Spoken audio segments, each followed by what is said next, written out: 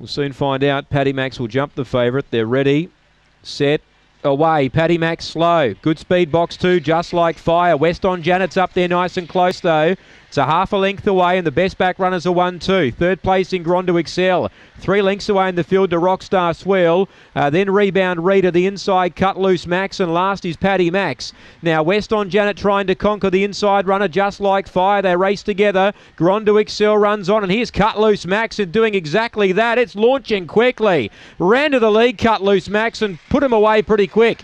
One by three.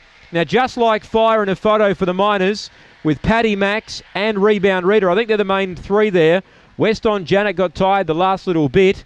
Uh, Grand to Excel was behind those, and Rockstar Swell back out towards the rear. Cut loose. Max certainly did that. Right around the outside, gets up to win.